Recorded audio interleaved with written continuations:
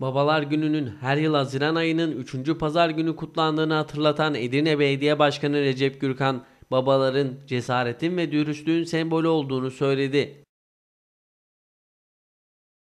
Çocukların hayata hazırlanmasında, gelecek kaygılarının giderilmesinde anne ve babaların yerinin asla doldurulmayacağını ifade eden Gürkan, babalar bizim en değerli varlıklarımız, bizi hayata hazırlamakta babalarımızın katkısı çok büyük. Baba, cesaretin ve dürüstlüğün sembolü, ailenin temel direğidir.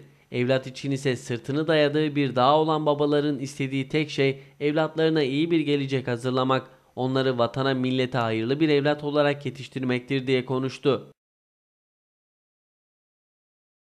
Babalar gününün sadece tek bir gün olarak kutlanmaması gerektiğine dikkat çeken Gürkan, evladı için yuvası için daima ayakta kalan, ailesi için tüm fedakarlıkları göze alan babalarımızın kıymetini bilmeli, onlara duyduğumuz sevgiyi her daim dile getirmeliyiz. Bu duygu ve düşüncelerle başta şehit babaları olmak üzere rahmetli babamın ve hayatını kaybeden tüm babaları minnet, saygı ve şükranla anıyor, tüm babalara evlatları ile birlikte sağlıklı ve mutlu bir hayat diliyorum dedi.